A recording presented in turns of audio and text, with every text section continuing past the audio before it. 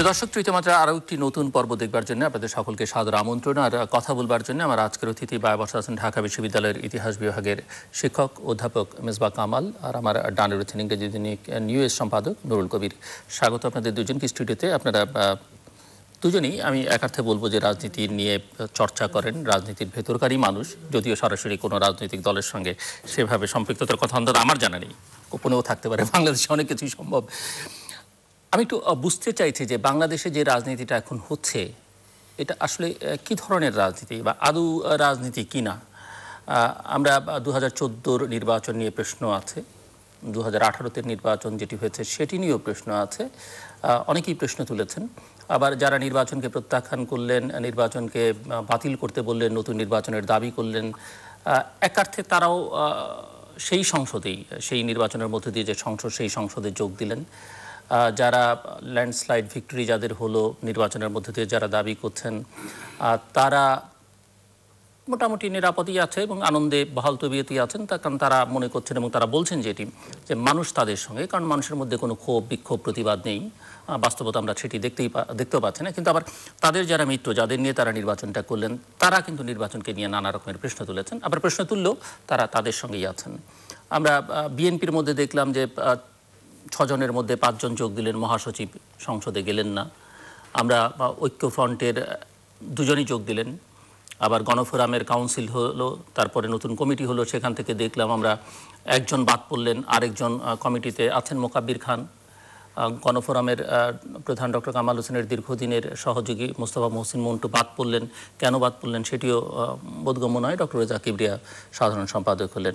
আমরা জাতীয় পার্টির দেখলাম পরশু রাতে হঠাৎ করেই হুসেন মোহাম্মদ এরশাদ সাংবাদিক সম্মেলন করলেন রাত এগারোটার পরে এবং তিনি ভারপ্রাপ্ত চেয়ারম্যানের ভারটা ছোট ভাই জি এম কাদেরের উপরে ন্যস্ত করলেন। সো কোনো কিছু আসলে বোধগম্য না এবং জি এম কাদেরকে এর আগেও তিনি দায়িত্ব দিয়েছিলেন, দায়িত্ব থেকে আবার সরিয়ে দিয়েছেন, আবার ফেরত আনলেন এবং সেটা রাত এগারোটার পরে। আমি একটু বুঝতে চাইছি যে আপনারা বোঝাতে পারেন কিনা আমার মতো যারা কম বোঝে তাদেরকে বা আমার দর্শক যারা বেশি বোঝেন, তাদেরকেও যদি নতুন কোনো ধারণা আপনারা দিতে পারেন প্রফেসর মেজবা কামাল প্রথমে।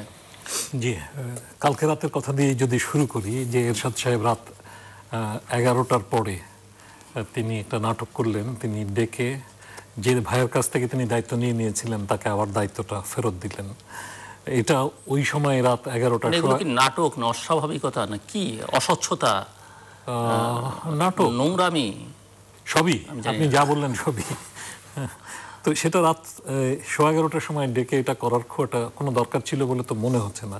তারপরেও তিনি করলেন এবং আমাদের সাংবাদিকরা প্রাক্তন রাষ্ট্রপতি যখন ডাকেন তখন যেতে হয় গেলেন এবং সে সংবাদ পরিবেশিত হলো। তো আমি যেটা বলতে চাই যে আপনি যে দলগুলোর কথা বললেন, এই সবগুলো দলই কিন্তু আসলে সমাজের উপরতলা নিয়ে নাড়াচাড়া করেন এবং সমাজের উপরতলার রাজনীতির কথা আপনি বললেন। আর সমাজের যারা নিচের তলার মানুষ, তাদের আসলে কোনো রাজনৈতিক সুসংগঠিত শক্তি সেভাবে নাই।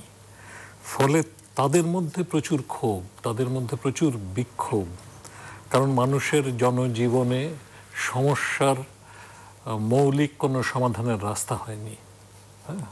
তো ফলে তাদের মধ্যে ক্ষোভ বিক্ষোভ তো আছেই, কিন্তু সেই ক্ষোভ বিক্ষোভের রাজনৈতিক বহিঃপ্রকাশের কোনো মাধ্যম আমাদের দেশে নাই। আর যাদের কথা বললেন, তারা তো যে রাজনীতি করেন, সেই রাজনীতির সাথে সাধারণ মানুষের সংযোগ কোথায়? আসলে তো খুব একটা সংযোগ নাই। ফলে আপনার কে সংসদে গেলেন আর কে সংসদে গেলেন না তাতে কি বা আসে যায়?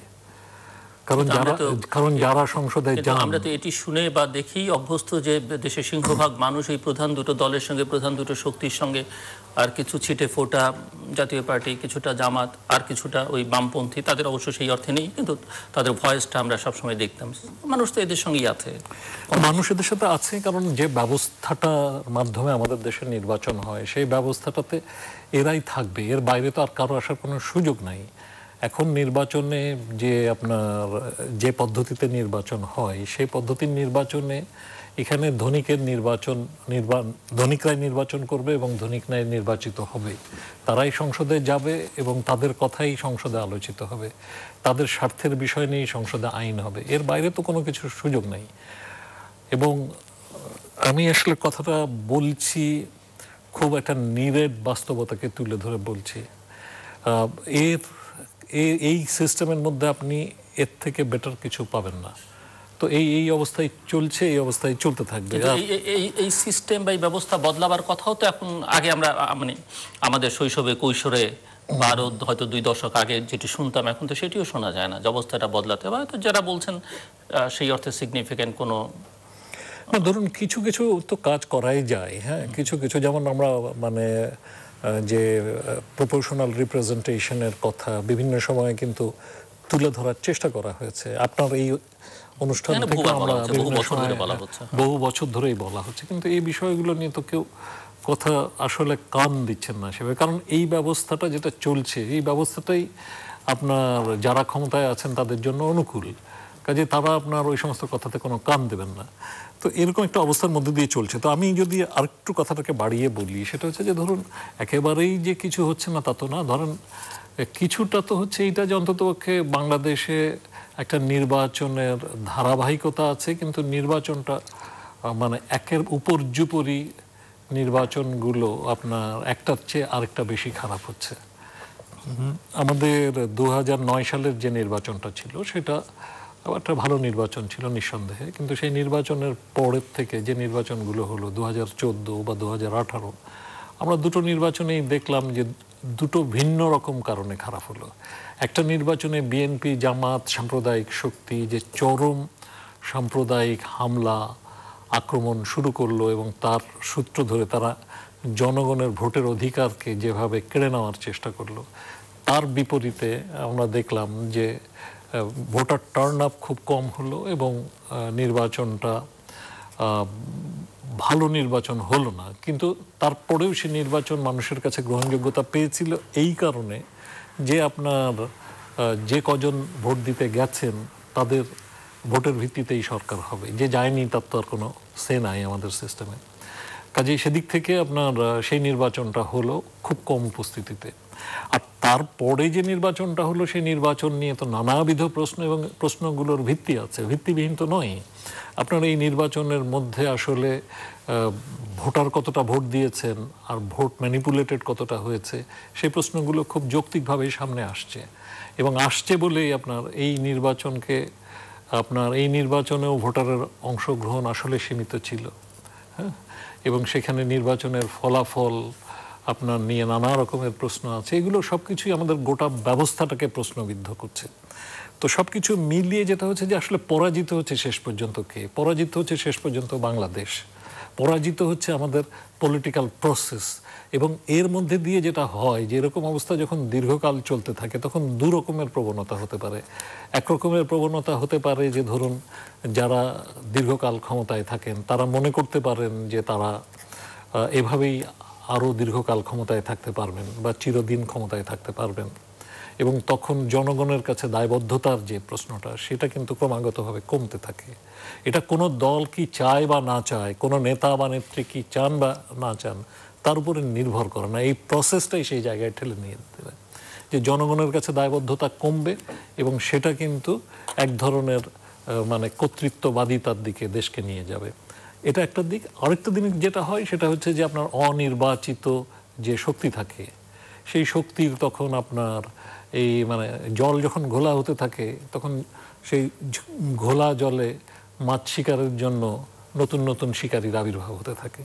তো সেই ধরনের সমস্যা সংকট কিন্তু তৈরি হতে থাকে। তো সবকিছু মিলে আমার যদি কথাটা শেষ বাক্যটা বলি আমি আমি কথাটা এভাবে বলব যে আমি কিন্তু খুব মানে মানে বাংলাদেশে মুক্তিযুদ্ধের পক্ষের শক্তি ক্ষমতায় আছে সেটা সেটা একটা স্বস্তির খবর।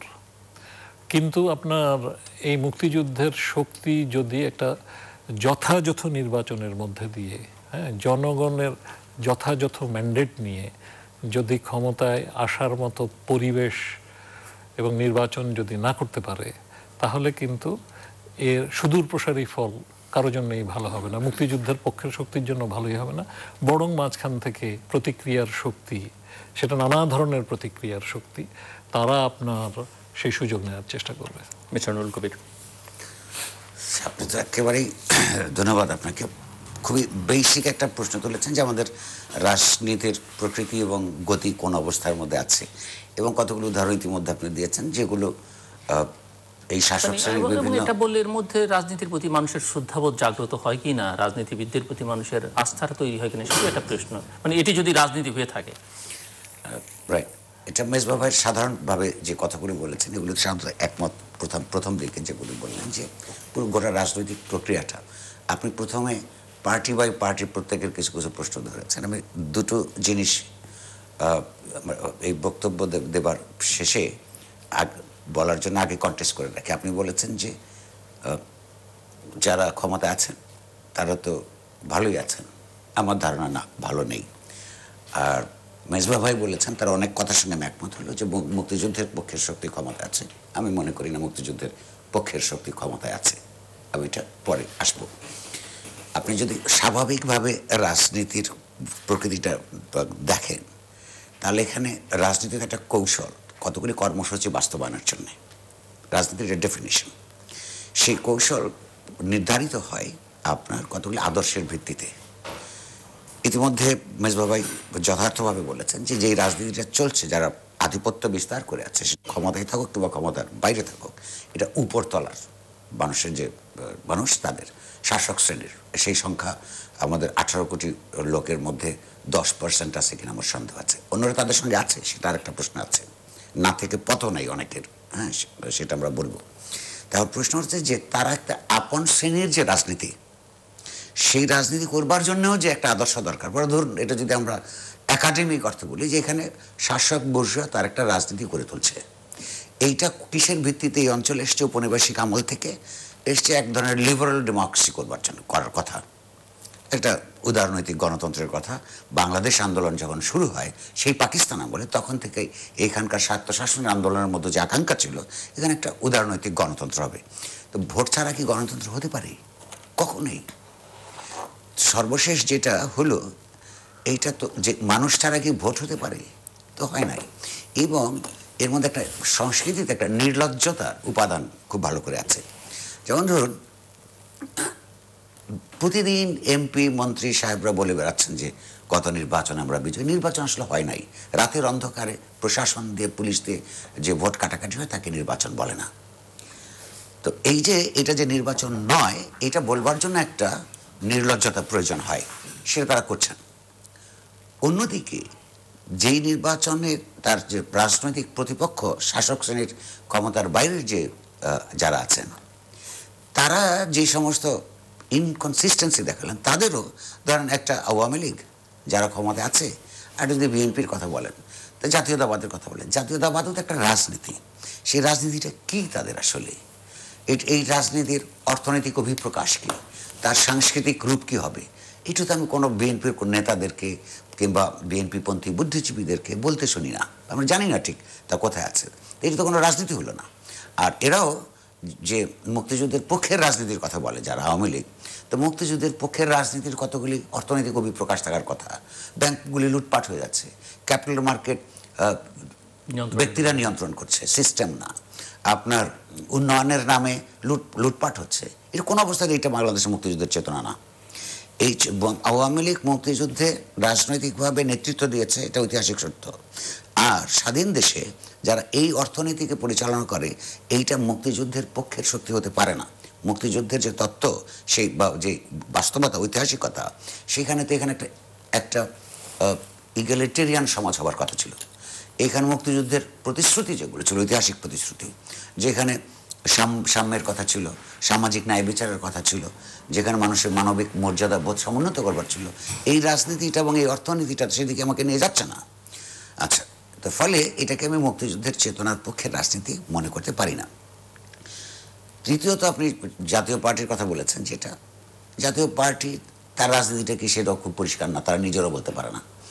আর সামগ্রিকভাবে তিনটার মধ্যে যে সমস্যা আছে এটা গণতন্ত্রহীনতার সমস্যা। তারা যেমন নিজেরা গণ- তার সমাজকে গণতন্ত্র ডেলিভার করতে পারে নাই। ধরুন রাত মধ্যরাতে নেতৃত্ব পরিবর্তন হয়ে যায়। তো এটার জন্য কোনো ভোট দরকার হয় না, মিটিং দরকার পড়ে না, এমনকি তাদের যে স্ট্যান্ডিং কমিটি আছে অন্যান্য নির্বাহী কমিটি আছে, কোনো ভোট দরকার পড়ে না। আচ্ছা আওয়ামী লীগ, বিএনপি তো একই অবস্থা, কম বেশি। এদের একজন এক, তার বিএনপির নেত্রী একজন জেলে, আরেকজন ইংল্যান্ডে আরেকজন এখানে একদিকে বলছেন যে সংসদে গেলে এই অবৈধ ভোটকে ন্যায্যতা দেওয়া হবে। আবার বলছেন যে এটা যাওয়া আগে উচিত ছিল। মানে এই যে ইনকনসিস্টেন্সি চিন্তার কৌশলের, এটার মধ্যে কেবলমাত্র কিন্তু অপরিপক্কতা নয় কে এটার মধ্যে পুরো গোস্ত ব্যাপারটার মধ্যে যে মানুষ, আজকে এক কথা বললাম, কালকে আরেক কথা বললাম। আগের দিনের কথাটাও মানুষ শুনেছে, পরেরটাও শুনলো। এটা কিন্তু মানুষের প্রতি যে অ্যাকাউন্টেবিলিটি এটা যেমন অনুপস্থিত, তেমনি মানুষের জ্ঞান, বুদ্ধি, বিবেচনাকে কিন্তু প্রশ্ন করা হয়, বোকা মনে করা হয়। ওরা যখন বলে তারা ভোটে পাশ করে এসছে, সেখানে যেমন মানুষের হলো তার স্বাভাবিক বুদ্ধিকে প্রশ্ন করা হয়, এখানে যখন আজকে এক কথা বলে, কালকে আবার আরেকটা কথা বলে, মানুষকে অবজ্ঞা করা হয় তার যে কোয়েশ্চেনিং স্বাভাবিক যে ইন্টেলিজেন্স বুদ্ধিমত্তা। তার মানে হচ্ছে, এই গোটা রাজনৈতিক পরিসরে যারা আধিপত্য করছেন ক্ষমতায় থাকুক কিংবা ক্ষমতার বাইরে থাকুক, তাদের অন্তর্গত অগণতান্ত্রিকতা অগণতান্ত্রিকতা, এটা এবং অন্তর্গত সংকট তার যে অন্তঃসার শূন্যতা মানুষের সামনে ভীষণভাবে পরিষ্কার। এখন কথা হচ্ছে যে তারা আপনি ঠিকই বলেছেন একদিক থেকে যে তাদের সঙ্গে তো মানুষ আছে তাদের সঙ্গে মানুষ না থাকবার আবার অন্য দুটো কারণ আছে। একটা হচ্ছে যে একটা দুটো গণতান্ত্রিক বিকল্প যার উপর ভরসা করা যায় এরকম কোন রাজনৈতিক শক্তির উপস্থিতি এই মুহূর্তে নাই। সে না থাকারও কিছু কারণ ব্যাখ্যা করেছেন কঠিন রাজনীতি খুব এক্সপেন্সিভ হয়ে গেছে। দ্বিতীয়ত হচ্ছে এরকম একটা অবস্থায় যেখানে পেশি শক্তির বলে আপনার প্রধানত রাজনীতি পরিচালিত হয়, তখন সংগঠিত এগুলি তো রাজনৈতিক দল নয় পলিটিক্যাল সায়েন্সের আপনার সংজ্ঞা অনুযায়ী। তাহলে একে বলে সংগঠিত পেশি শক্তি। এই কোনো না কোনো পেশি শক্তির সঙ্গে না থাকলে সমাজের নিরাপত্তাহীনতা তৈরি হয়। সেটার কারণে মানুষ মনে মনে না চাইলেও একটা শক্তির সঙ্গে থাকে। আপনি আমাদের দুইজনকে একটা প্রশ্ন করলেন না যে আমরা এখনও রাজনীতি করি কিনা? বা গোপনে টোপনে চর্চার মধ্যে আছেন কিন্তু কোনো দলের সঙ্গে সত্যিকার অর্থে যদি এখনও পর্যন্ত আমি বিশ্বাস করি পৃথিবীতে সমাজ এবং রাষ্ট্রের ইতিবাচক পরিবর্তনের জন্য রাজনীতি হচ্ছে সবচেয়ে প্রয়োজনীয় জিনিস। আমি ব্যক্তিগতভাবে খুব খুশি হতে পারতাম যদি একটা রাজনৈতিক দলের সঙ্গে থাকতে পারতাম। কারণ শেষ পর্যন্ত রাজনীতি ছাড়া সমাজের রাষ্ট্রের গণতান্ত্রিক রূপান্তর সম্ভব নয়। কিন্তু বিদ্যমান যারা আছেন আগে তো নিজেকে বুঝাইতে হবে যেগুলো রাজনৈতিক দল। কারণ যেগুলো কেবলমাত্র ক্ষমতার জন্যে পেশি শক্তি নির্ভর আদর্শহীন এইরকম রাজ যখন সংগঠনগুলি থাকে এটা সংগঠিত পেশি শক্তি ছাড়া কিছু নয় এর থেকে বাইরে আসতে হবে। শেষ কথা এই প্রসঙ্গে। আপনি বলছিলেন যে আওয়ামী লীগ সুখে আছে? ন আমি বলেছি কারণে। মানে তারা তো বলছেন তারা মানে বলছেন। ওটা বলতে হয়। যেমন তারা যেমন জানেন যে এটা নির্বাচন হয় নাই তাও বলছেন। সুখেরও একটা ভাব ধরছেন। আপনি লক্ষ্য করবেন আপন আপন এলাকায় কনস্টিটিউয়েন্সি যেটা পার্লামেন্টারি কনস্টিটিউয়েন্সি প্রত্যেক এমপি না হলেও বিপুল অধিকাংশ এমপি এখন খুব অসুখী। কারণ এসপি সাহেবদের সঙ্গে তারা পারছেন না। ওইখানে এসপি সাহেবরা ক্ষমতাবান হয়ে উঠছেন। যখনই একজন এমপি তার জনপ্রতিনিধি থাকার হলে, ন্যায্য জনপ্রতিনিধি হলে তার যে দাপট থাকবার কথা, তার যে প্রভাব থাকবার কথা, ন্যায্যভাবে সেই প্রভাবটা তিনি খাটাতে যান, কিন্তু খাটাতে পারেন না। কারণ এসপি সাহেব বলেন যে, আপনি আমাকে এসপি বানান নাই, আমি আপনাকে এমপি বানিয়েছি। ফলে ওইখানে তার যে অসুখ, সুখের জবাব, উনি কিন্তু ঠিক মনে মনে টের পান। তারপরেও আপনার অন্যদের প্রতি বা এমপি থাকার কারণে যেসব সুযোগ সুবিধা পাওয়া যায়, সেগুলির প্রতি আসক্তির কারণে এটা চালিয়ে যান। একটা সুন্দর গণতান্ত্রিক প্রক্রিয়া যিনি এমপি হন তার যে মর্যাদাবোধ থাকে, তার যে সত্যিকার অর্থে সমাজের দাম থাকে, তা হ্যাঁ সেটা তার থেকে কিন্তু তারা বঞ্চিত। ফলে তারা খুব সুখে আছে বলে আমার মনে হয় না। এবং বাংলাদেশের মানুষ তো সুখে নেই। তো এটা নির্ভর করে শেষ পর্যন্ত।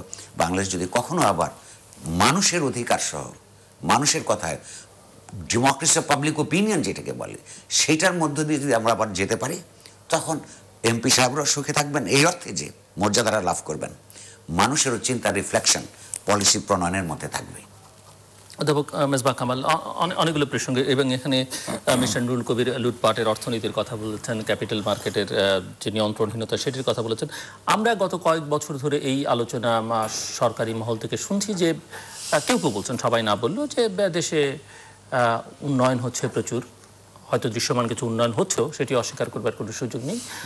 এবং কেউ কেউ এটিও বলছেন যে গণতন্ত্রের চাইতে উন্নয়নটাই এখন প্রধান। অনেকে এটিকে মালয়েশিয়ান মডেল হিসেবে বলবারও চেষ্টা করেছেন এবং বিগত সরকারের মন্ত্রীও ছিলেন খুব গুরুত্বপূর্ণ নেতা, তারাও এটি বলবার চেষ্টা করেছেন। দ্বিতীয়ত কথা তারা বলছেন যে কাগজে, কলমে জাতীয়ভাবে, আন্তর্জাতিকভাবে নানা রকমের অর্থনৈতিক উন্নয়নের কিছু সার্টিফিকেট কিছু স্ট্যাটিস্টিক্স সেগুলো আছে।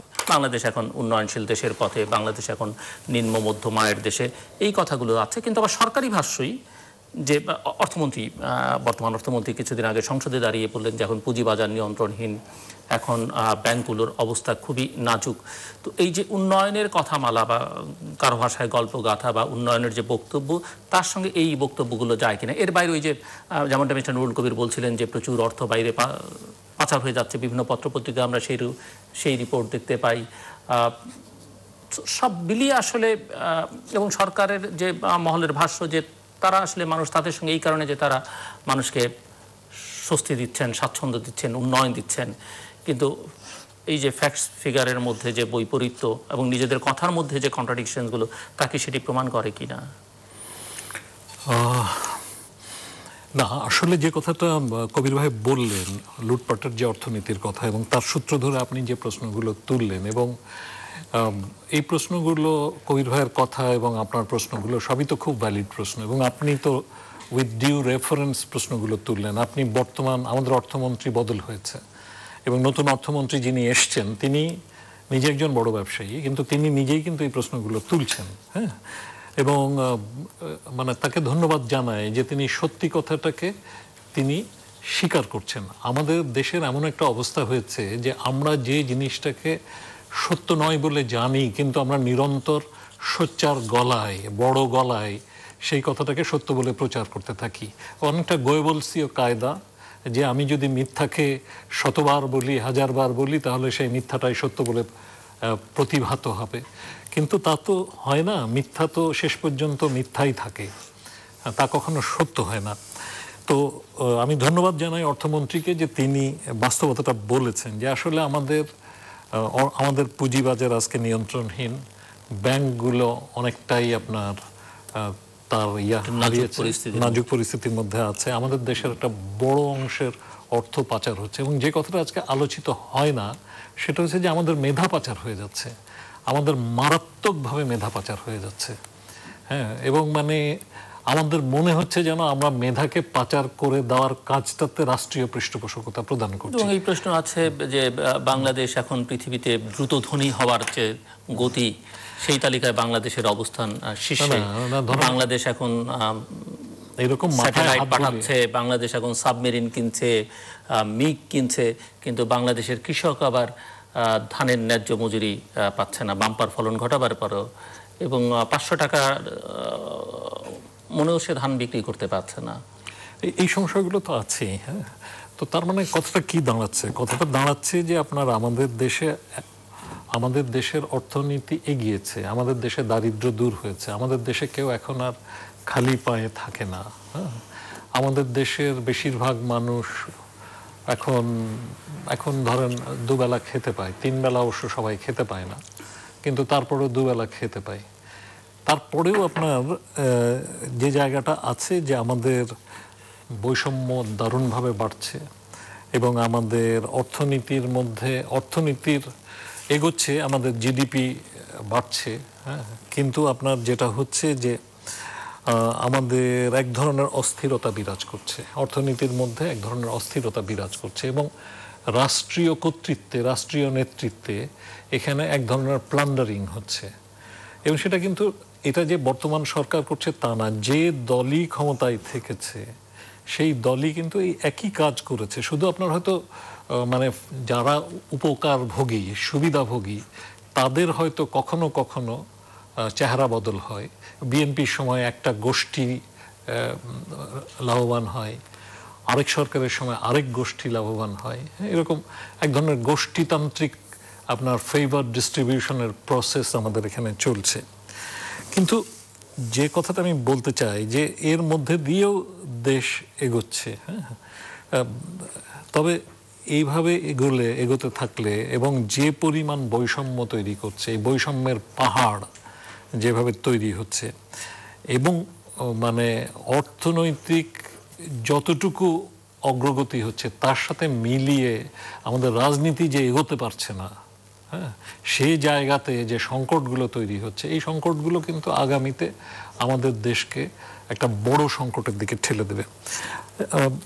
মানে কবির ভাই যে কথাগুলো বললেন যে আপনার ধরুন আজকে এসপি বলছেন যে আপনি আমাকে এসপি বানান নাই আমি আপনাকে এমপি বানিয়েছি হ্যাঁ? এই কথাগুলো আমিও শুনেছি। এই কথাগুলোর আপনার বা ডিসি এসপি এরা অনেক ক্ষমতা ধর মানে এবং বেসামরিক প্রশাসন আছে তার বাইরে তো আরও অন্য ধারার লোকজন তো আছেন তারাও যথেষ্ট ক্ষমতাবান এই সব কিছু মিলিয়ে আছে। কিন্তু আবার আমি মানে আজকেই পুলিশের একজন বন্ধুর সাথে কথা বলছিলাম। তিনি বলছিলেন যে বাংলাদেশে নুসরাত হত্যার সাথে যে পলিটিক্যাল নেক্সাসটা জড়িত হ্যাঁ, এর মধ্যে জামাত বিএনপি আওয়ামী লীগ সব আছে হ্যাঁ তো যে পলিটিক্যাল নেক্সাসটা জড়িত সেটা কিন্তু সেটা ধরা পড়ছে কারণ স্বয়ং প্রধানমন্ত্রীর হস্তক্ষেপ সেখানে ছিল। এবং প্রধানমন্ত্রীর হস্তক্ষেপ ছিল বলে ধরা পড়ছে, কিন্তু প্রধানমন্ত্রীর হস্তক্ষেপ তো সব জায়গায় থাকে না, থাকাও সম্ভব হয় না। সেখানে কিন্তু তারা কাজ করতে পারেন না। এবং আপনার মানে তার তো উদাহরণ তিনি বলার দরকার নেই আমরা নিজেরাই তো বুঝি। বলেছেন যে তিনি যদি মানে তারা যদি তৎপর না হতেন তাহলে দোষটা গিয়ে নুসরাতের উপরে মানে দায়টা দোষটা নুসরাতের উপরে। পড়তো নুসরাতের পরিবারের উপরে পড়তো তারা আরও বিপদগ্রস্ত হতেন। তো আপনার সেইখানে যেমন ধরুন আমাদের দেশে তো কি হচ্ছে আমাদের কদিন আগে কুমিল্লায় তনু সে আপনার চলে গেল তার কিন্তু কিছু বিচার হয়নি। এর আগে সাগর রুনি সাগর রুনি যখন আপনার ই হলেন নিহত হলেন। তারপরে তৎকালীন স্বরাষ্ট্রমন্ত্রী তিনি সারা খাতুন তিনি বলেছিলেন যে অপরাধীরা আমাদের ওয়াচের মধ্যে আছে। এই ওয়াচ কথাটার মানে কি? ওয়াচ কথাটার মানে কিন্তু যদি আপনি পুলিশি পরিভাষায় বলেন আমি যেভাবে বুঝি। যে এটা হচ্ছে যে অপরাধীদেরকে মানে অপরাধীরা তাদের কবজার মধ্যে আছে। ইনফ্যাক্ট অনেক ক্ষেত্রে যেটা হয় যে অপরাধীরা তাদের কাস্টডিতে থাকে, সেটা ডিক্লেয়ার্ড হয় না। তো এরকম অবস্থায় হয়তো ছিলেন। কিন্তু দেখা গেল যে তাদের, তারা কিন্তু এই আট বছর না কত বছর হয়ে গেল? বহু বছর, এক যুগ হয়ে গেল বোধহয়।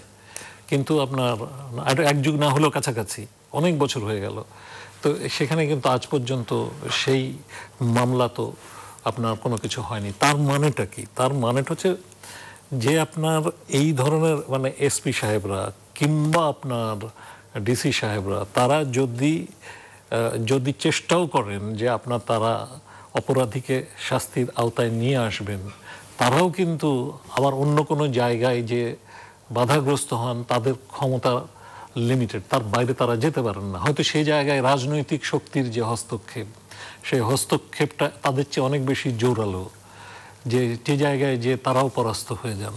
তো এটা একটা অদ্ভুত খেলা আর কি আপনার। যে ধরুন মানে কোথাও এসপি সাহেবরা এমপি বানান আর কোথাও এসপি সাহেবরা অন্য কোথাও যে আর তার সামনে এগোনোর ক্ষমতা থাকে না।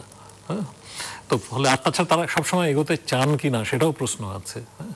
কারণ নানা রকম সুবিধা, প্রাপ্তি, প্রমোশন হ্যাঁ? অনেক হিসেব থাকে। ক্ষমতার নানা রকম হিসাব। এই নানা রকম হিসেবে আপনার যিনি এমপি হয়েছেন, তিনি মন্ত্রী হওয়ার প্রশ্ন আছে, যিনি মন্ত্রী হয়েছেন আরও বড় কিছু হওয়ার ব্যাপার আছে, ব্যবসা পাওয়ার প্রশ্ন আছে। আবার যিনি এসপি আছেন, তার আরও ঊর্ধ্বতন পদে যাওয়ার ব্যাপার আছে। নানা রকমের খেলার মধ্যে দিয়ে দেশটা এগোচ্ছে। মাঝখানে ক্যাজুয়ালিটিটা কি? ক্যাজুয়ালিটিটা হচ্ছে জনগণ। আর ক্যাজুয়ালিটিটা হচ্ছে ডেমোক্রেটিক প্রসেস আর যারা এই কথাটা বলেন যে আপনার উন্নয়নের চেয়ে গণতন্ত্র মানে গণতন্ত্রের চেয়ে উন্নয়ন বড় গণতন্ত্রের আগে উন্নয়ন দরকার। এই কথাগুলো যারা বলেন, তারা আপনার আসলে ঠিক কথা বলেন না। ঠিক কথা বলেন না এই কারণে বলছি যে গোটা মানে গণতন্ত্র মানে তো শুধু ভোটের অধিকার না, গণতন্ত্র মানে কিন্তু ভাতেরও অধিকার। গণতন্ত্র মানে কিন্তু হচ্ছে যে মানে আমার মত প্রকাশের স্বাধীনতা, আমার চিন্তার স্বাধীনতা, আমার কথা বলার স্বাধীনতা, আমার ভাবনার স্বাধীনতা এবং আপনার আমার আমার আমার একটা স্বাধীন মানুষ হিসেবে বিকশিত হওয়ার জন্য যে স্পেসটা দরকার, সেই স্পেসটা থাকে। এটা ডেমোক্রেটিক স্পেস তৈরি হওয়ার ব্যাপার। আজকে আমাদের দেশে যে কোনো সরকারের আমলে স্পেসটা ক্রমাগতভাবে সংকোচনের প্রক্রিয়াটাই আমরা দেখি। তো ফলে যেটা হচ্ছে যে, আমার কাছে মনে হচ্ছে যে আপনার আমরা খুব ভালো নেই আপনার হ্যাঁ? হয়তো ধরেন আজকে মানে বিভিন্ন জায়গায় মানে আমি কোন জায়গা বলব বলেন? এই যে আমাদের ঢাকা বিশ্ববিদ্যালয়ে আসছি হ্যাঁ, এক- এক সেকেন্ড আমি না না আমি জাস্ট একটা ছোট্ট উদাহরণ বলে নিই যে ঢাকা বিশ্ববিদ্যালয়ে ফাইন আর্টস ইনস্টিটিউটের সামনে একটা আপনার ছবির হাট ছিল। হ্যাঁ কি হতো সেখানে বলেন তো ছবির হাটে? সেই ছবির হাটে কিছু শিল্পী তারা সেখানে বসে ছবি আঁকতো বা ছবি বিক্রি করতো। বিক্রি আর কয় পয়সা হয়? বাংলাদেশের ছবির ক্রেতা কয়টা? আর আপনার সেখানে তারা বসে চা খেত। গল্প করতো। সেই ছবির হাটও বন্ধ করে দেওয়া হয়েছে। তো যে দেশে ছবি আঁকার ছবির হাট বন্ধ হয়ে যায় সে দেশে তো এখন বলবেন হয়তো যে টকশোতে তো কথা বলতে পারেন। হ্যাঁ পারি আমরা সেটা ঠিক। না, ওই যে আপনি একটু আগে বলছিলেন যে বাংলাদেশে সবাই এখন এমপি হচ্ছে মন্ত্রী হচ্ছে বাংলাদেশে এটি এটি একটি ইতিবাচক দিক। কোনো যোগ্যতা থাকুক আর না থাকুক সবাই কিন্তু যে কোনো কিছু হওয়ার স্বপ্ন দেখতে পারে। সেটি আপনি অ্যাকসেপ্ট প্রধানমন্ত্রী হওয়া ছাড়া। বাংলাদেশে কিন্তু এখন মন্ত্রী হওয়া রাষ্ট্রপতি হওয়া বিচারপতি হওয়া। পারে না পারে না ভাই সবাই পারে না। আমার- তো মনে হয়। ধরেন আমি বলি হয়তো আপনি আপনি- আপনি- বলার সময় আমাদের দুজনকে উদ্দেশ্য করে বলেছেন যে আমরা রাজনীতি রাজনীতি সচেতন তো বটে আপনার রাজনীতির চর্চা আমরা রাজনীতির চর্চার মধ্যে নানাভাবে শিক্ষক উনি সম্পাদক উপায় তো নেই। ওনার তো রাজনীতির বাইরে যাওয়ার কোনো সুযোগ নেই। হ্যাঁ আমরা আমরা আপনার আপনি সহ আমরা রাজনীতির চর্চার মধ্যে তো আছি। কিন্তু আপনি বলেন আমি জানি না আপনার কথা কিন্তু কবির ভাই দেখে আমার মনে হয় এবং আমার নিজের কথা বলতে পারি যে আমাদের দেশে আমরা কোনোদিন এমপি হতে পারব না। সম্ভব না।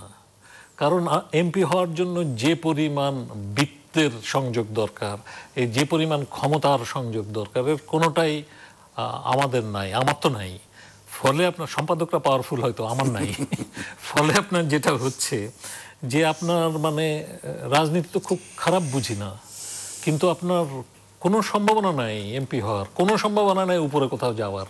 রাজনৈতিক ব্যবস্থাটা যেখানে যেভাবে বদলে যাচ্ছে না না তাতে না বোধহয় শুধু তাই নয় কি ধরেন আমি জীবনে কখনো ভাইস চ্যান্সেলর হব না। সম্ভব হবে, আমি জানি আমি কখনো ভাইস চ্যান্সেলর হব না কেননা ভাইস চ্যান্সেলর হওয়ার জন্য যে পরিমাণ অধস্তন হতে হয় যে পরিমাণ মস্তক বিক্রি করতে হয় ওই মস্তক বিক্রি করতে পারব না কয়েকটি বিশ্ববিদ্যালয়ের উপাচার্যের বিরুদ্ধে ছাত্ররা বিক্ষুব্ধ ক্ষোভ বিক্ষোভে তো আপনার যে প্রক্রিয়ায় দেশে উপাচার্য নির্বাচিত হয় বা মনোনীত হয় ওই প্রক্রিয়ার মধ্যে দিয়ে যেতে পারব না। ওই প্রক্রিয়ার মধ্যে দিয়ে যেতে পারলে ভাই আমলা হতাম। বা আমলারাও পারবে কিনা সব আমলা পারবেন না। তো এর মধ্যে দিয়ে আপনার বাংলাদেশে তো এখন হচ্ছে আপনার তৃতীয় শ্রেণি পেলেও তো উপাচার্য হওয়া যায় বিষয় আপনাদের সবই হওয়া যায়। আপনার কোন শ্রেণি না পেলে উপাচার্য হয় যেমন প্রথমে শেষ কথাটা দিয়ে শুরু করি। মেজবাবের একটা দুঃখ থাকতে পারে যে উনি বোধহয় অকর্মণ্য লোক আরও যে আছে সম্পাদকরা পাওয়ারফুল এটা সব সম্পাদক পাওয়ারফুল না অনেক পাওয়ারফুল সম্পাদক আছেন। আর সবচেয়ে কম পাওয়ার আমার। এই কারণে আমি একটা কথা বলি যে সম- সাম্প্রতিককালে আমি শুনলাম যে ঢাকায় পনেরোটা ইংরেজি দৈনিক বের হয়। ইংরেজি দৈনিক পনেরোটা। কি করে জানলাম? এত এত বছর তো এগুলির সঙ্গে ছিলাম জানতাম না আগে। কারণ আমি জানলাম যে ডিএপি বলে একটা প্রতিষ্ঠান আছে খুব দুর্নীতিগ্রস্ত। ওইখানে ঘুষ টুস দিতে হয় কিংবা রাজনৈতিক প্রভাব খাটাতে হয়।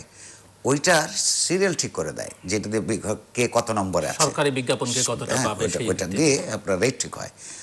দেখ আমি জানলাম যে নিউ এজ পত্রিকাটা পনেরো নম্বরে। এই বুঝলাম যে তাহলে আরও চোদ্দটা কাগজ উপরে আছে। আরও চোদ্দটা কাগজ আছে। জানলে আমি আমরা কীভাবে ওনার উপরে আছে নিউজের উপরে আছে আর কি। আমি নিশ্চিত আপনি অনেক জ্ঞান রাখেন অনেক তথ্য রাখেন। এই মুহূর্তে আপনাকে জিজ্ঞেস করলে এক থেকে পনেরোটা ইংরেজি কাগজের নাম আপনি বলতে পারবেন না। কিন্তু নিজের নামটা পারবেন। পাঁচটি বলতে পারবে। তো ফলে সম্পাদক হলে ক্ষমতাবান হয়। হ্যাঁ এটা কিন্তু সত্য নয়। সেটা ক্ষমতাহীনতা। আর যারা আবার আমাদের সঙ্গে করে তারা একটা জিনিস বোঝে না।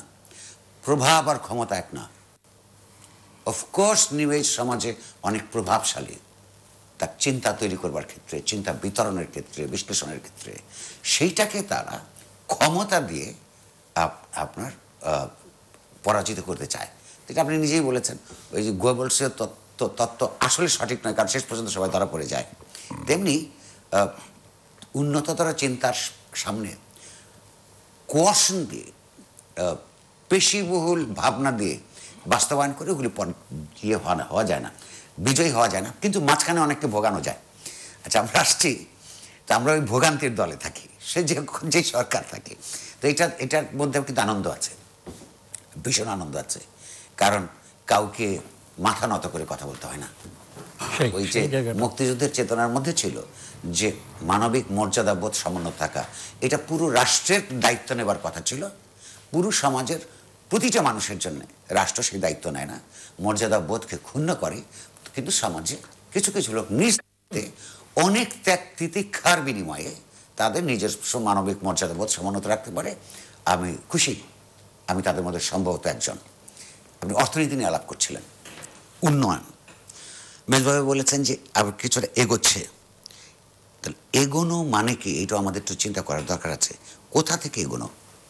আমরা যদি শিক্ষায় পিছিয়ে পড়ি আমাদের যদি গণতান্ত্রিক নৈতিকতার দিক থেকে আমরা পিছিয়ে পড়ি, আমাদের আমরা যদি রাস্তার মৃত্যুর হার বন্ধ করতে না পারি এবং বরং বাড়তেই থাকে, আমরা যদি সমাজের কতগুলি কনভেনশনাল যে ব্যবস্থা ছিল পৃথিবীর পুরনো সব, সমাজের পুরনো সব কিছুই খারাপ নয়।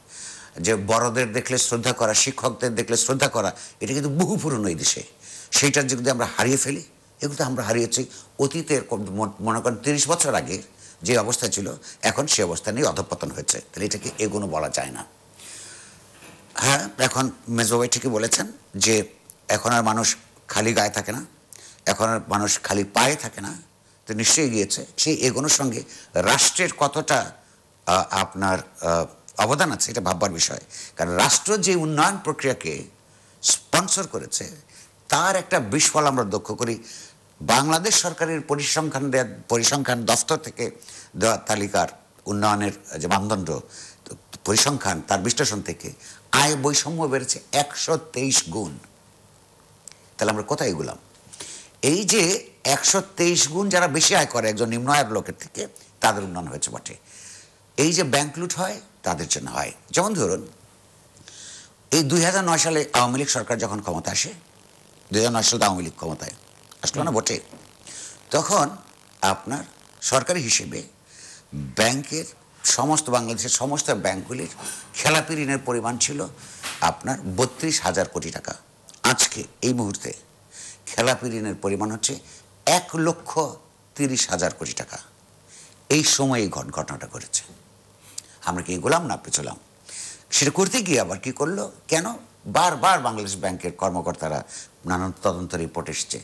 যে ব্যাংকগুলির ব্যা- ব্যাপারে যে সমস্ত আইন কানুন, সে সব আইন যে ভালো তা নয়, খারাপ আইন আছে গরিবের বিরোধী আইন বহু, অধিকাংশই তারপরে যেটুকু আছে, একটা ক্যাপিটালিজমকে চালু রাখার জন্যে, একটা সাউন্ড পুঁজিতান্ত্রিক ব্যবস্থাকে চালু রাখার জন্য, ব্যাংক ব্যবস্থার উপর কেন্দ্রীয় ব্যাংকের যে নিয়ন্ত্রণ থাকবার কথা, সেই নিয়ন্ত্রণটা রাখতে তারা পারে না। কারণ কি, এই যে- এই যারা যারা এই এই যে এক লক্ষ বত্রিশ হাজার কোটি টাকা ঋণ খেলাপি তাদের বিপুল অধিকাংশই সরকারি দলের সঙ্গে জড়িত। আমাদের এই আওয়ামী লীগ সরকারের প্রাক্তন অর্থমন্ত্রী একাধিকবার প্রকাশ্যে বলেছেন যে রাজনৈতিক সিদ্ধান্তের প্রভাবিত হয়ে ঋণ বিতরণ করা হয়। এই কারণে ব্যাংক ব্যবস্থা এটা হয়েছে। উন্নয়নের স্লোগানটা যে অসত্য, তার পুঁজিতান্ত্রিক ব্যবস্থার অর্থনীতির মধ্যেকার তত্ত্বের মধ্যে সেটা আছে। সেটা হচ্ছে যে এই দাবিটা কেন অসত্য? সত্যিকার অর্থে এখানে যদি একটা পুঁজিতান্ত্রিক উন্নয়ন হতো, তাহলে ক্যাপিটাল মার্কেট টক বক করতো। এবং যত ধরনের পুঁজি বাজারটা আসলে কি, কেন তৈরি হয়েছিল? হয়েছিল যে নতুন নতুন শিল্প কলকারখানা হবে। সেই কলকারখানার জন্য বড় বড় পুঁজি দরকার। সেই পুঁজি শুধু ব্যাংকগুলি জোগাতে পারছে না বা নিজেরা করতে পারছে না। মানুষের কাছ থেকে পুঁজি নিবে। সেই পুঁজির মানুষ সেই ছোটো ছোটো ছোটো ছোটো মালিকানার ভিত্তিতে ক্যাপিটাল বড় পুঁজি বড় হবে। পুঁজি বড় পুঁজি বিনোজিত হবে। তার অংশীদার তারাও হবে। অর্থাৎ শিল্পায়নের জন্যে এই পুঁজি বাজার অত্যন্ত গুরুত্বপূর্ণ একটা ঘটনা। পরিষ্কার আমার মনে আছে আওয়ামী লীগের অর্থমন্ত্রী বলেছেন আমি পুঁজি বাজার বুঝি না। পত্রপত্রিকা উঠেছিল। আরেক অর্থনীতির অ্যাডভাইজার মন্ত্রী মন্ত্রীর মর্যাদায় তিনি বলছেন পুঁজি হচ্ছে এটা একটা লুটপাটের জায়গা এটা চোর বদমাইশরা জুয়া খেলার জায়গা। আচ্ছা দুজনেই অর্থনীতিবিদ। আরেকজন বলছেন পুঁজি বাজারের কোনো নিয়ন্ত্রণ নাই। তাহলে অর্থনীতিবিদ না অর্থমন্ত্রী একজন তো আপনার আপনি যে সাবজেক্টের ছাত্র সেই সাবজেক্ট থেকে আসে আরেকজন ইকোনমিক্সের আচ্ছা তো প্রশ্নটা হচ্ছে যে না তার পরে ওনার একটা অনেক- এম ছিল পরে রাবিশ মন্ত্রী যিনি ছিলেন আচ্ছা। যে রাবিশ বলতে পছন্দ করতেন উনি পরে ইকোনমিক্সে development economics in fact development economics পরে এনজিও চালানো যায় রাষ্ট্রীয় অর্থনীতি ম্যানেজ করা যায় না। উনি যে ডিগ্রি নিয়েছিলেন। এনিওয়ে প্রশ্নটা হচ্ছে যে তাহলে যখন পুঁজিবাজার যদি এরকম নিয়ন্ত্রণহীন থাকে ধসের মধ্যে পরে কয়েক বছর পর পরই সেটা তো একটা শক্তিমান অর্থনীতির কোনো প্রতিচ্ছবি না, এটা তো আমার কথা না, তার কথা না, এটা অর্থনীতির স্বাভাবিক নিয়ম। আচ্ছা এইটা, এই ব্যবস্থাটা একটা লুটপাটের ব্যবস্থা হিসেবে, এই কিছুদিন ধরে দুই সপ্তাহ ধরে প্লেসমেন্ট শেয়ার কীভাবে দেওয়া হবে, কি দেওয়া হবে না, ইত্যাদি আপনারা পত্রপত্রিকায় দেখেছেন, যে আইপিও দেওয়া হয়, সেখানে কি করে আপনার দশ টাকার জিনিস পঞ্চাশ টাকা দেখিয়ে বাজারে ছাড়ে আগে, আগের থেকেই বিক্রি করে এবং পরে সামান্য লটারি করে কিছু দেয় এবং এটা ভুল তথ্যের ভিত্তিতে লোকেরা সেগুলি ছোটো ছোটো ইনভেস্টাররা কিনে কি ভয়াবহ অবস্থার মধ্যে পড়ে। অথচ আইপিও পর্যন্ত আসার অন্তত তিনটা, চারটা পর্ব আছে সরকার নিয়ন্ত্রণ করে। সেই সমস্ত পর্বে আপনার ঘুষ, দুর্নীতি এবং মিথ্যাচারের মধ্য দিয়ে এই পুঁজিবাজারকে ধ্বংস করা হচ্ছে। তো পুঁজিবাজার ধ্বংস হলে তাদের যে অর্থনীতি, কথ- কথিত মার্কেট ইকোনমি এটা তো কখনো এগোবে না। তৃতীয় প্রশ্ন হচ্ছে জিডিপি বাড়ার যে স্লোগান, এইটাও অসত্য। কারণ বাংলাদেশ সরকার অধিকাংশ পরিসংখ্যান নিয়ে এখন আন্তর্জাতিকভাবে এখানে, সেখানে এবং যারা চিন্তাশীল মানুষ হ্যাঁ অর্থনীতিটা ভালো করে বোঝেন, তাদের কাছ থেকে শুনেছি প্রশ্ন করার ব্যাপার আছে। এই একবার তো পরিসংখ্যান দফতরের পরিসংখ্যানকে কৃষিমন্ত্রী নিজেই পার্লামেন্টে কন্টেস্ট করেছিলেন। মতিয়া চৌধুরী আপনাদের মনে থাকবার। কথা। কারণ হচ্ছে জিডিপি বাড়লে তো আপনার প্রবৃদ্ধি বাড়লে তো এমপ্লয়মেন্টও বাড়বার কথা কর্মসংস্থান বাড়বার কথা। তো কর্মসংস্থান কমছে হার আবার জিডিপির হার বাড়ছে। এটা কি ধরনের অর্থনীতি? বিনিয়োগ না হলে তো কর্মসংস্থান বিনিয়োগ না হলে কীভাবে কর্মসংস্থান হবে? তাহলে কোথায় আসলে অর্থনীতির উন্নতির যে স্লোগান এটা কতটা রেটরিক আর কতটা বাস্তব এটা তো পরিষ্কার করে জিজ্ঞাসা করবার সময় এসছে। কারণ কিছু লোকের হাতে ওই যে উপরের তালার কিছু লোক আমার অর্থনীতিকে লুটপাট করে নিয়ে যাবে তার শেষ পর্যন্ত বাংলাদেশের মানুষ বাংলাদেশের সম্ভাবনা অমিত সম্ভাবনার দেশ। সেই সম্ভাবনা ধূলিসাৎ হবে এবং তারা একসময় পালিয়ে যাবে টাকা বাইরে পাঠিয়ে দেবে। আর এক সরকার আসলে এরকম ঘটনা ঘটেছে। পাঁচ বছর ধরে লুটপাট করেছে তারপর চলে গেছে সরকার পরিবর্তন হয়েছে তারা আবার সেগুলো এসছে। এই সাইকেল এই সাইকেলটা বন্ধ করার জন্যে কিন্তু মানুষ যদি সোচ্চার না হয় সাধারণ মানুষ সোচ্চার হওয়ার আগে ওনাদের মানে আমি বলছি যে যারা সমাজে এগুলো সচেতন তাদের সোচ্চার হওয়ার ব্যাপার আছে। সবশেষ কথা আপনি একটা বলছিলেন যে মালয়েশিয়ান মডেল নাকি এটা? যে গণতন্ত্রহীন অর্থনৈতিক ব্যবস্থা। আচ্ছা প্রথম কথা হচ্ছে এগুলি নিয়ে প্রচুর ইতিমধ্যে অমর্ত্য সেন তার জন্য বিখ্যাত হয়েছেন গণতন্ত্র ছাড়া উন্নয়ন আসলে কমে বা অন্তত গণতন্ত্র থাকলে বাড়ে, সেটা আমি বাদ দিলাম। তো মালয়েশিয়ার থেকে যদি ডেভেলপমেন্ট মডেল নেন অন্তত একটা নেন না, সেটা হচ্ছে যে এই মাহাতির মোহাম্মতেরা এর আগের বার যখন যে মাঝখানে তো অনেকদিন গ্যাপ দিয়েছেন, তার একটা অপারেশন করবার জন্যে একটা বিদেশি, বিদেশে যাওয়ার কথা ছিল। তিনি ডাক্তারকে, মালয়েশিয়ান ডাক্তারকে জিজ্ঞাসা করেছিলেন যে আমার এটা কতদিন পর্যন্ত অপারেশন ছাড়া সাস্টেন করতে পারব বলে আপনার ধারণা? বলছে, বছর দু তিনেক। ওই দুই বছরের মধ্যে তার দেশে ওই হসপিটালটা ছিল না বলে ওই ইউনিটটা ছিল না বলে, ওই দুই বছরের মধ্যে ওইখানে হসপিটালের ওই ইউনিট তৈরি করে নিজের দেশে নিজেদের ডাক্তার দিয়ে অপারেশন করে সাকসেসফুল হয়েছেন, এত বছর বাঁচছেন। এটা এই তো মাতির মডেল এটা একটু মানেন না। বাংলাদেশের মন্ত্রী, প্রধানমন্ত্রী এমপি সরকারি দলের রাজনীতি, রাজনীতিক, বিরোধী দলের প্রাক্তন মন্ত্রী, এরা সবাই তো এখানে চিকিৎসা নেয় না। কিন্তু মর্যাদা, অন্যদের মানবিক মর্যাদাবোধ নাগরিকদের সমুন্নত রাখবে তো দূরের কথা, নিজেদের মর্যাদাবোধ নাই। একটা স্বাস্থ্যমন্ত্রী যদি নিজের দেশে চিকিৎসার ব্যাপারে নিশ্চিত হতে না পারেন, তারপর উনি হাসেন কি করে? যেই সরকারেরই হোক না কেন প্রত্যেকটা সরকারের স্বাস্থ্যমন্ত্রীরা তাদের চিকিৎসার জন্য বাইরে গেছেন। আপনি বলছেন হ্যাঁ, এই উন্নয়ন হচ্ছে এই হচ্ছে সেই হচ্ছে। আর একজন মন্ত্রী তার চিকিৎসার জন্যে আপন দেশে করতে পারেন না। এটার চেয়ে দুর্ভাগ্যজনক আর কি হতে পারে। এই যে সাফ- সাফল্যের যে তালিকা, তার মধ্যে শিক্ষাটাও আসে বছরের প্রথম দিন বাচ্চাদের কাছে বই চলে যাচ্ছে জিপিএ ফাইভের ছড়াছড়ি, নানান কিছু আমরা নানান সময় শুনি। কিন্তু আপনি বিশ্ববিদ্যালয়ের শিক্ষক এই পৃষ্ঠে করতেই হচ্ছে যে প্রাচ্যের অক্সফোর্ড বলে খ্যাত, ঢাকা বিশ্ববিদ্যালয় তো বটেই। সম্প্রতি এশিয়ার সেরা বিশ্ববিদ্যালয়ের একটা তালিকা বেরিয়েছে সেই তালিকার মধ্যে বাংলাদেশের কোনো বিশ্ববিদ্যালয় পাঁচশোর মধ্যে নেই। চারশো তিরিশের মধ্যে নেই চারশো তিরিশের মধ্যে নেই। পাঁচশো এবং আমার প্রশ্ন হচ্ছে যে যেখানে ভুটানের একটি বিশ্ববিদ্যালয় আছে নেপালের একটি আছে পাকিস্তানের নয়টি আছে ভারতের উনচল্লিশটি আছে সেখানে বাংলাদেশের একটি বিশ্ববিদ্যালয় নেই। তো উন্নতিটা হলো কোথায়? উন্নতি হচ্ছে না কেন? এই- যে বিশেষ বিষয়টা যে আপনি বললেন এই বিষয়টা কিন্তু একটু ডিফারেন্ট ডিফারেন্ট মানে কি? যে আপনার এই যে বিশ্ববিদ্যালয়গুলোর যে ইয়ে করা হয় আপনার আহ, Rating. হ্যাঁ রেটিংটা করা হয়। এই রেটিংটা করার জন্য আপনার যে আপনার পদ্ধতিটা ফলো করে বিশ্ববিদ্যালয়গুলোকে আপনার অ্যাসেসমেন্ট করতে হয়। তার একটা পার্ট হচ্ছে সেলফ অ্যাসেসমেন্ট তারপরে একটা অ্যাসেসমেন্ট হ্যাঁ? তো সেই অ্যাসেসমেন্টের প্রসেসটা কিন্তু বাংলাদেশে ছিল না হ্যাঁ? তো এটা আপনার নতুনভাবে আমাদের ইউনিভার্সিটি গ্র্যান্টস কমিশন এখন ওয়ার্ল্ড ব্যাংকে সেই প্রসেসটার কাজ শুরু করেছে বিভিন্ন বিশ্ববিদ্যালয় পর্যায়ক্রমে। এই জিনিসটার সাথে শিক্ষকদেরকে শিক্ষা প্রশাসকদেরকে পরিচিত করানো হচ্ছে এবং এই অ্যাসেসমেন্টের প্রসেসটা চালু হয়েছে মানে চালু হতে যাচ্ছে। হ্যাঁ এখনও যেমন ঢাকা ইউনিভার্সিটিতে একটা তিন বছরের স্কিম নেওয়া হয়েছে কারণ ঢাকা ইউনিভার্সিটির সবগুলো ডিপার্টমেন্ট বছর ধরেই হচ্ছে। না না এটা বাইরে বহু বছর ধরে হচ্ছে কিন্তু এর সাথে বাংলাদেশ যুক্ত হয়নি। বাংলাদেশ এর সাথে যুক্ত হয়নি। এখন যেটা হচ্ছে, যেমন ঢাকা ইউনিভার্সিটির সব ডিপার্টমেন্টকে তিনটে ভাগে ভাগ করে প্রথম বছরে কিছু ডিপার্টমেন্টকে এটা ইন্ট্রোডিউস করা হয়েছে, দ্বিতীয় বছরে কিছু থার্ড ইয়ারে চলছে। তো এর মধ্যে দিয়ে কিন্তু এই র্যাঙ্কিং মানে অ্যাসেসমেন্ট এবং তার মধ্যে দিয়ে র্যাঙ্কিং প্রসেসের মধ্যে বাংলাদেশের বিশ্ববিদ্যালয়গুলো ঢুকবে। ওই ঢুকলে পারে আপনার তখন দেখা যাবে যে বাংলাদেশ কোন লেভেলে আসে। আপনার বাংলাদেশ যে কোথাও আসতে পারবে না চারশো তিরিশের মধ্যে বা পাঁচশোর মধ্যে হ্যাঁ?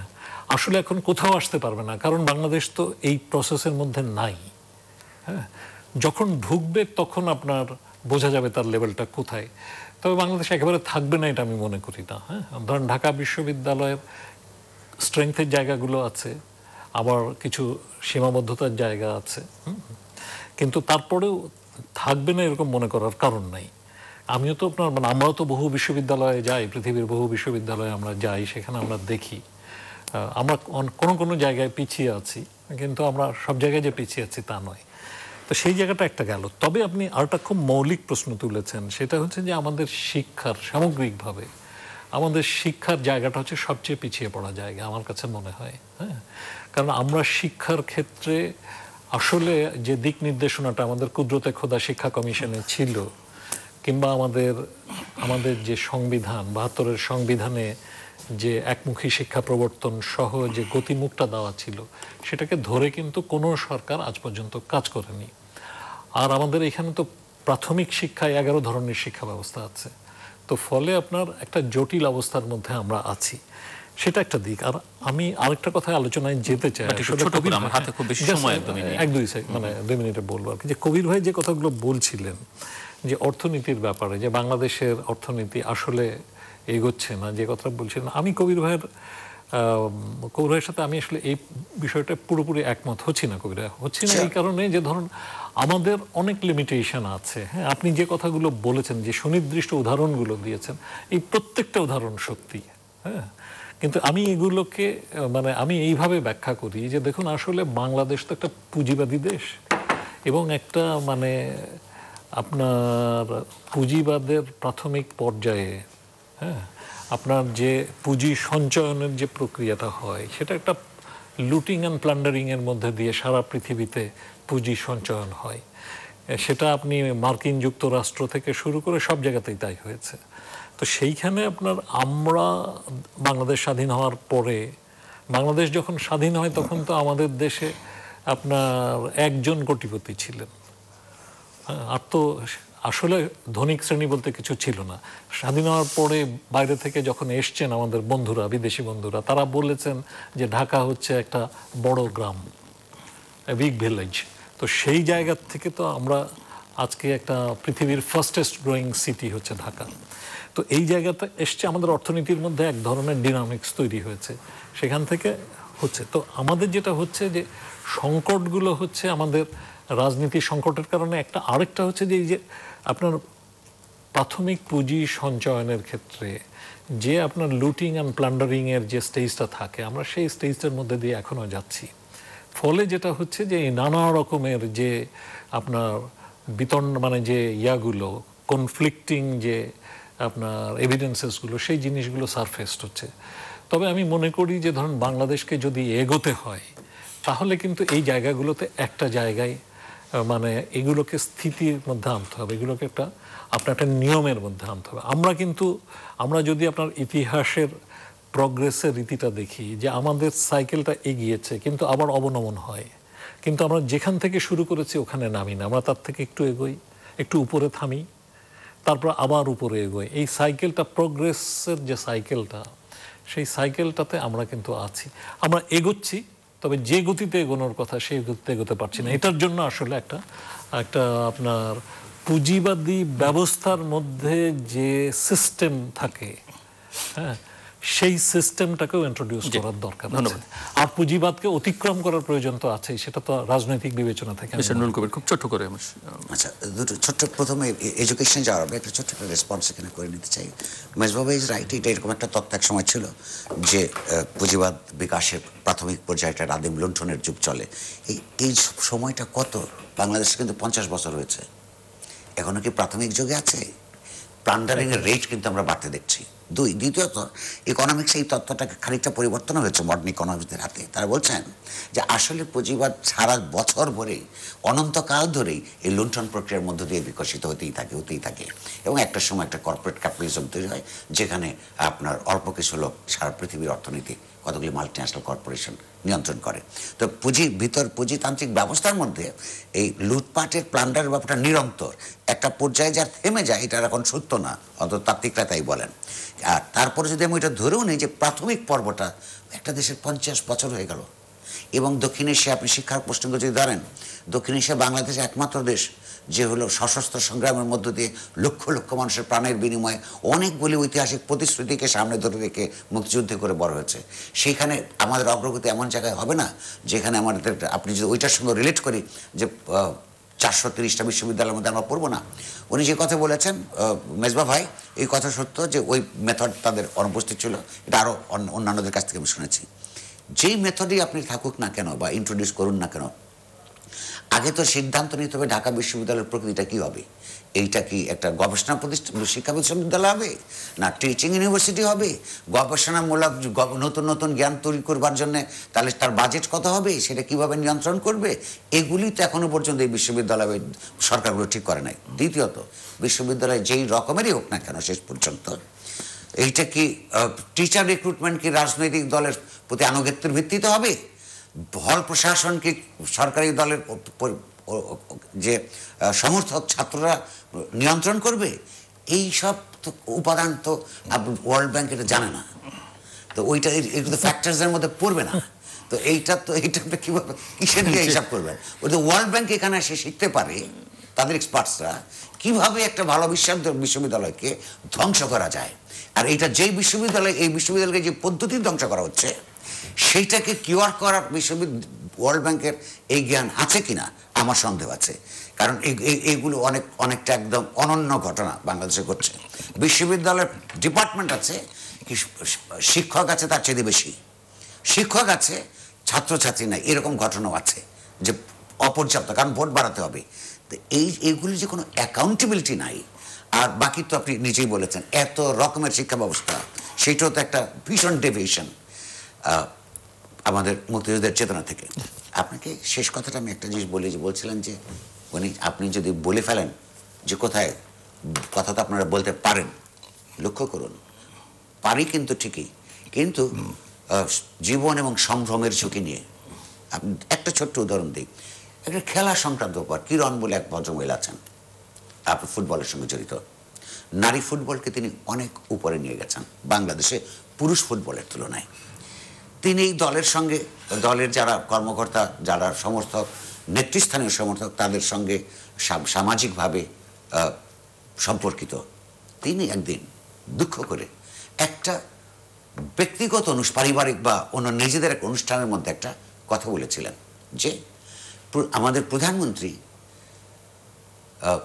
ক্রিকেটের ক্রিকেটকে যে পরিমাণ প্রণোদনা দেন ফুটবলকে সেই পরিমাণ দেন একটা অভিমানের স্বর ছিল তার এই কথা দুই বছর পরে সেই গল্পের গল্প গুজবের টেপ থেকে বাজিয়ে একটা টেলিভিশনকে ব্যবহার করে তার তাকে প্রধানমন্ত্রীকে অপমান করা হয়েছে মামলা হয়ে জেল কেটেছেন এখানে তাহলে প্রধানমন্ত্রী হস্তক্ষেপে ছাড়াও পেয়েছেন এবং এইটা কিন্তু এইটা কিন্তু প্রধানমন্ত্রী মামলা করেন নাই। কারণ হচ্ছে সবসময়ই থাকে যে প্রধানমন্ত্রী কোনো প্রত্যক্ষভাবে তার অফিসও করে নাই। এই যে কি বলে শত শত- শতগুণ? এরকম একটা পরিস্থিতি তৈরি হয়েছে যে যেখানে তার আপন দলের লোক অভিমান করে কোনো কথা বলল যে প্রধানমন্ত্রীর বিরুদ্ধে যাবে এটাকে কৃতিত্ব নেওয়ার জন্য আরেকজন মামলা করে জেল কাটিয়ে দেবে। এইটা হচ্ছে এখানকার পরিস্থিতি। আর এটার জন্য মানুষ যে মানুষ যে ইয়ে পাবে কোর্টে গিয়ে যে খুব একটা রেসপাইট ঠিক মতো পাবে সেইটা কিন্তু আমরা সর্বশেষ যে ঘটনা দেখলাম এটা সত্য কিনা আমি জানি বিরাতে লন্ডনে আমাদের কাগজের কোনো প্রতিনিধি নাই। কিছু অডিও শুনেছি। সেই অডিও কতটা সত্য, কোনো অসত্য, আমি খুব পরিষ্কার না, কিন্তু ভয়েসটা বোঝা যায়। কারণ আমার একটা বাংলা পত্রিকাকেও আমরা পত্রিকায় সেই খবরটা দেখেছি ঢাকায়। আর আমার যদি সংবাদদাতা থাকতো, তো আমি এটা ছাপতাম। প্রধানমন্ত্রী, আমাদের প্রধানমন্ত্রী যখন লন্ডনে গেলেন দুদিন আগে, তখন আপনার ওই ওইখানকার বিএনপির সমর্থকরা প্রতিবাদ করেছে। হয়তো খুব সভ্য পদ্ধতিতে করে নাই। কারণ বিএনপিওয়ালারাও যখন ক্ষমতায় ছিল, এই প্রতিবাদ ইউরোপ, আমেরিকায় আওয়ামী লীগরাও সভ্য পদ্ধতিতে খুব করে নাই। কারণ হচ্ছে আমরা তো প্রথম পর্বে আলাপ করলাম এখানে রাজনৈতিক, সংস্কৃতির, পারস্পরিক শ্রদ্ধাবোধ, পরস্পরের চিন্তার প্রতি মনোযোগ। আপনি বলছিলেন, কান দেয় না। কান দেওয়ার আকাঙ্ক্ষা এগুলি কিছু নাই। কিন্তু সেখানে সেই দেশের না, অনুযায়ী যদি, সেই দেশের নিয়ম অনুযায়ী যদি আপনার তারেক রহমানরা কিংবা বিএনপির লোকেরা অন্যায়, অসঙ্গত, অগণতান্ত্রিক এবং বেআইনি আচরণ করে থাকে, সেইটা ওইখানে মামলা করার জন্য আওয়ামী লীগের প্রচুর লোক আছে। আমরা যদি ক্রিটিক করি, সেটাও যে কোথায় গিয়ে আমরা পৌঁছবো আমরা কত নিশ্চিত জানি না। তবু জানি, মুক্তিযুদ্ধের চেতনাকে সমুন্নত রাখবার জন্যেই, গণতান্ত্রিক ধ্যান ধারণাকে এগিয়ে নেবার জন্যেই ঝুঁকি নিয়ে হলেও অন্যায়কে, অগণতান্ত্রিকতাকে ক্রিটিক করতেই হবে। সেটা আমরা করে যাচ্ছি চেষ্টা করছি আমাদের নিজ নিজ জায়গা থেকে। দর্শক আমরা অনুষ্ঠানের শেষ প্রান্তে তৃতীয়মাত্র সম্পর্কে আপনারা লিখতে পারেন। ডাকি ইমেল এস এর মাধ্যমে ইন্টারনেট আমাদের অফিসিয়াল ওয়েবসাইট অথবা সোশ্যাল মিডিয়াতে যেসব পেজ রয়েছে সেসব পেজে আপনারা আপনাদের মতামত রাখতে পারেন। আর আপনারা আপনাদের মতামত আমাদের অনুষ্ঠান তৃতীয় মাত্রায় আপনি দেখতে পাবেন প্রতি বৃহস্পতিবার এবং শুক্রবার বাংলাদেশ আমার দুটোই সোমবার সকাল সাড়ে এগারোটা এবং শুক্রবার দুপুর দেড়টায় দেখবার আমন্ত্রণ রইল। তৃতীয় মাত্রায় পর্বটি আপনি সামাজিক যোগাযোগ মাধ্যম ফেসবুকও সরাসরি দেখতে পারেন। ফেসবুক এখন তৃতীয় মাত্রা লাইভ স্ট্রিমিং হচ্ছে। আর এই পর্ব সহ পুরনো পর্বগুলো দেখবার জন্য তৃতীয় মাত্রার সঙ্গে যুক্ত থাকবার জন্য অনুষ্ঠান সম্পর্কে জানবার জন্য যে কোনো সব ভিজিট করতে পারেন Tritiyo Matra dot com Facebook Google plus Twitter এবং ইউটিউবে তৃতীয় মাত্রার যে পেজগুলো রয়েছে, সেসব পেজগুলোতে আইএস ডিভাইস থাকলে আপনি অ্যাপ স্টোর থেকে তৃতীয় মাত্রা আপনি ডাউনলোড করে নিতে পারেন। তৃতীয় মাত্রা দেখবার জন্য এবং অনুষ্ঠান সম্পর্কিত তথ্যাদি জানবার জন্য মিটার ডুল কবির এবং প্রফেসর মেজবা কামাল অসংখ্য ধন্যবাদ আপনাদের দুজনকে আলোচনা অংশগ্রহণের জন্য। দর্শক, আমার দু অতিথির কথা এটি ওনারাই বলছেন যে এক অদ্ভুত রাজনৈতিক প্রশাসনিক ব্যবস্থার মধ্য দিয়ে বাংলাদেশ যাচ্ছে। এখানে অনেক কিছুই তৈরি হয়েছে মিথ্যার উপরে আশ্রয় করে। মিথ্যা শেষ পর্যন্ত টেকানা সে কথা ওনারা স্মরণ করিয়ে দিয়েছেন। এখানকার রাজনীতির যে করুণ দশা অর্থনীতির যে নাজুক অবস্থা শিক্ষা ব্যবস্থায় যে গলদ, সব বিষয় ওনারা তুলে ধরবার চেষ্টা করেছেন এবং এখানে দরিদ্র মানুষের জন্য, গরিব মানুষের জন্য বা নিচু তলার মানুষের জন্য সেই অর্থে স্বপ্ন দেখবার ভালোভাবে সম্মানের সঙ্গে বেঁচে থাকবার যে কোনো সুযোগ নেই বা তাদের যে সংগঠিত হবার কোনো রাজনৈতিক শক্তি নেই, সংগঠিত কোনো রাজনৈতিক শক্তি নেই সে কথা ওনারা স্মরণ করেছেন। অবস্থাটা বদলাতে হবে, সে কথাই গীত করেছেন। এই অবস্থায় এই অবস্থা দিয়ে দেশ আসলে চলতে পারে না। কিন্তু বদলটা কীভাবে হবে? কাদের দ্বারা হবে সেই বিষয় নিয়ে আসলে স্থির কোনো সিদ্ধান্তে ওনারাও এখনও পর্যন্ত পৌঁছতে পেরেছেন বলে আমার মনে হয় না। তবে যেটা অনিবার্য, সেটা অনিবার্যই। দর্শক আমাদের সঙ্গে থাকবার জন্য অসংখ্য ধন্যবাদ। আপনাদের সবার জন্য শুভকামনা।